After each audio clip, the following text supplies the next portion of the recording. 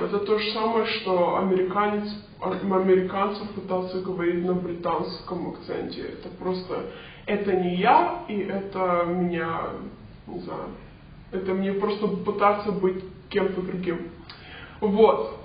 А, как-то странно говорить до свидания, потому что не знаю, когда будет следующий раз, когда я с вами заговорю на русском. Но у меня уже в горле пересохло, у меня тут где-то был чай, он, его теперь нету. Вот. Я надеюсь, вам это видео понравилось. А, да, оставляйте свои комментарии, я очень обещаю, я вам прочитаю и отвечу на сколько я смогу. И да, я вас очень люблю. Пока!